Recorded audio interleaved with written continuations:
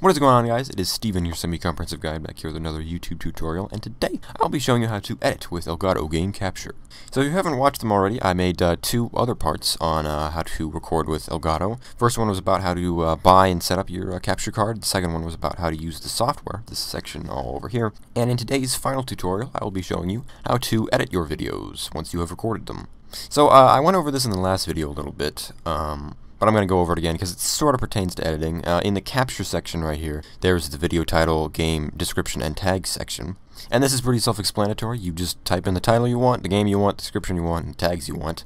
Now, of course, YouTube does provide this, or Twitch, or whatever you're uh, streaming or uploading to. So this is not required for most uh, streaming or uploading services, but uh, if you want to skip some steps, you can uh, do it right off the bat uh, before you start recording or streaming in Elgato itself. And from there we can head to where the real magic happens in the Edit tab of our uh, software here. So from here you can see a little video, or not a little, it's a rather large video preview of the game we have recorded. Uh, you'll see uh, on the side here, we can see the uh, files and the uh, actual video recordings here. We can scroll through them to see um, all the, you know, different recordings we've done. Uh, they give dates, times, uh, and of course the length of the actual video. And if you did give it a specific uh, title or um, game name, then you can search that in the uh, search bar down here, or go up to the files and uh, sort by uh, game title or level or whatever, whatever you categorize them as. So to get started editing a video, you will go over here to the video section, click on the piece of footage you would like to edit, and it will appear right here in the video preview and in the editing bar down here. So as you can see here, this is very, uh, very bare bones editing software. This is nothing like uh, Final Cut Pro or uh, uh, Sony Vegas or anything like that. This is basically just a trim tool. But if you would like to trim, then you can use this uh, little uh, tool right here. Um, just go to the part that you would like to cut. use our little split tool, and it'll split the footage in half. from here, then, we can move the mouse over to the trim spot, and it'll show us this little icon. If we move the mouse back here, it will uh, delete footage and it will make the uh, trimmed section shorter. If we then move it back, it'll make it longer until it has reached its longest point. If we want to delete that uh, section of footage that we've trimmed, then we can uh, trim one side and then uh, find another spot where we'd like to trim. Hit the trim tool again and it will trim this little section. As you can see here, there is a trim here and a trim there. From there we can select here and hit the little trash can icon to delete it. So say there's like a few seconds of gameplay you want to edit out, then you can use this little uh, plus zoom in tool right here to uh, zoom in even farther, uh, down to all the way to uh, 5 seconds here. And we can cut out little tiny areas by uh, using the same process as before. So unfortunately there is not an undo tool. um, hopefully Elgato will implement that in the future, but for now the best undo you can kind of make is to uh, say we deleted this and we want that back, um, then we can uh, use the same tool that we used that I showed you before uh, to increase the length to then bring that footage uh, back. It should uh, go all the way to the original beginning of the film. So then down here we have the play uh, feature that just plays it at normal speed so we can see uh, what we've edited so far, how the clips have been edited edited together.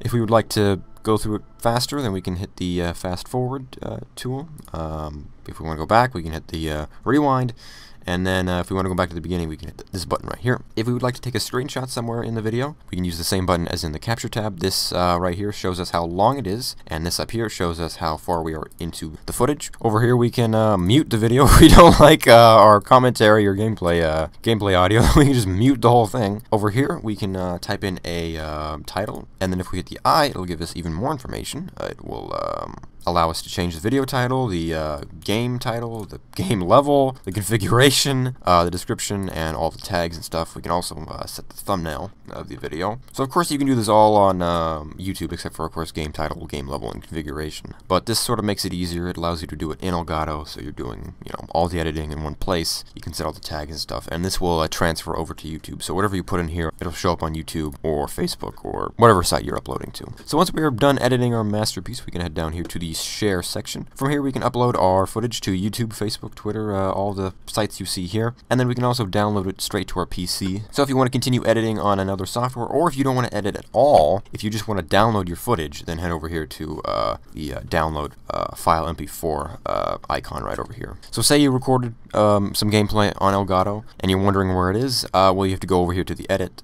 section, and then down here to share, and then you have to click on file mp4. And once we click on that, it'll save uh, it'll show down here the processing bar, uh, how long it's going to take. If we go over to any of these sites, it'll be a, a pretty simple process. Uh, and now it will warn us, this is a, a very uh, high quality um, gameplay. That's another reason to go over to the capture section and to turn the quality down because uh, sometimes YouTube won't allow you to upload longer footage onto YouTube because of the quality of Elgato. That's another thing to note when emailing it or when downloading it is that these are rather large files because of the quality of them. So just keep that in mind when editing and uh, when uploading. So I'm just going to not I'm just gonna ignore this even though the video is longer than 20. And from here it'll uh, it'll ask us to uh, sign into our Google account uh, to upload it obviously. Um, I'm not going to sign in because I don't want anyone to know my Google account.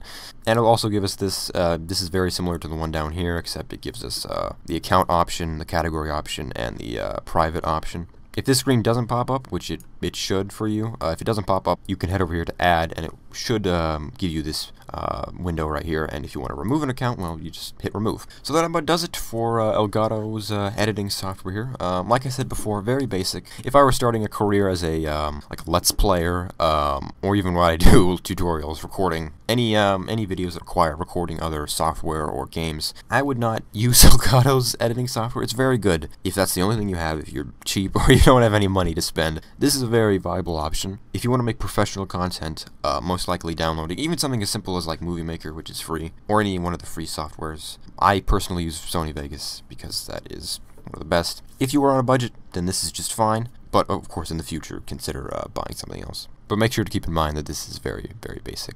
Anything else I missed, um, be sure to leave it in the uh, comments down below. If you have any questions, uh, comments, uh, thoughts, be sure to leave them in the comments down below. Also, video ideas, uh, any input is uh, very much appreciated. If you liked the video, be sure to like and subscribe. Um, and yeah, I've been Steven, your semi-comprehensive guide, and have a wonderful day.